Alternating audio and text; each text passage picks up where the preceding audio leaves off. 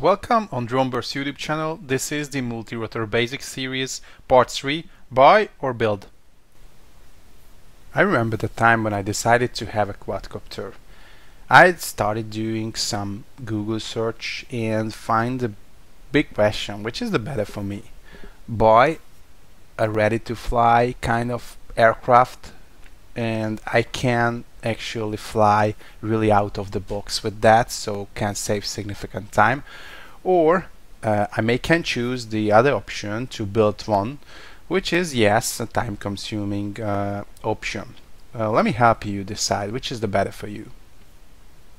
Let's just review first what are the pros if you would like to build one it's definitely an experimental learning and the biggest advantage of this if you will have any kind of crash and you can be sure that you will have you can just easily uh, be able to repair that because you actually build that. So you know all the parts you know all the know-hows how you can put it together you can add anything to it.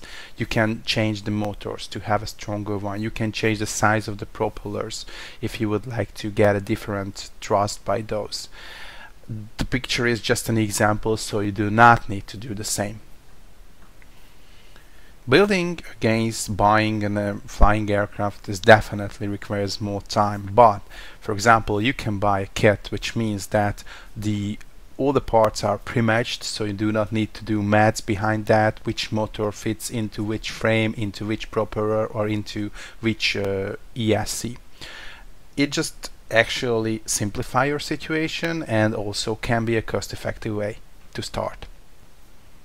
In many cases when you buy a ready-to-fly quadcopter you will not have the chance to change the main parameters of that because it is given by the manufacturer and you can't just fly with that. But if you build one you will know how to change the main parameters which could be the time uh, how many minutes you can uh, spend flying the distance how far you can fly and the weight lift which defines whether you have enough thrust to put a camera and a gimbal onto your aircraft. If you build your own quad you will have the chance to change any of the main parts based on your need. For example you would like to use uh, longer propellers so based on that you can just buy a longer arm and just replace that. I can list some cons for the building. Uh, actually when you build a quad the main focus is not how it looks like but how it works whether it will fly or not and what kind of main fly parameters it will have.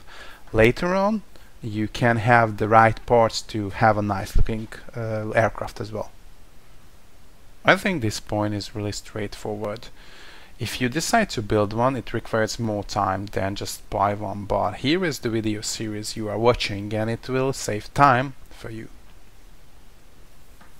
Yes, and that's a strange point, and you need to be aware of that. That it is pretty sure that you will make some mistakes, which will be costly, but this is how it works, so don't worry about that. Okay, so let's just review how it looks like from buy perspective. So let's start with the first pro, which is really a better design. So you will get a nice looking quadcopter, most probably. It depends on the price itself, but uh, in many cases you will have a better design experiment when you buy one. In many cases, beginners start thinking about this hobby because they saw somebody flew with a quadcopter or a multi-rotor uh, in that case, I think the better way, if you can start with a cheaper and smaller quadcopter, for example, what you can see on the screen, uh, and just check what you feel when you're flying and whether you would like to go deeper, so spend more time and more money on the hobby.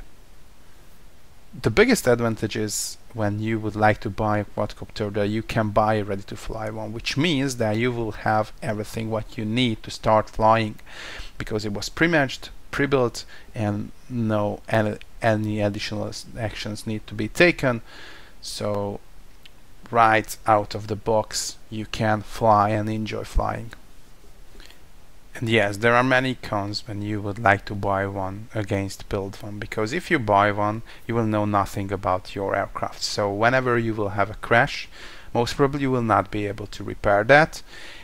and for example when you would like to get a longer flight time you will not know which battery fits to your plane so you do not know how to extend that pretty much the design is created to be able to uh, use the parts which is provided by the manufacturer. So at that point you will have limited options also. Please subscribe. Feel free to share these videos and do not forget to raise any questions or comments. Thank you for your attention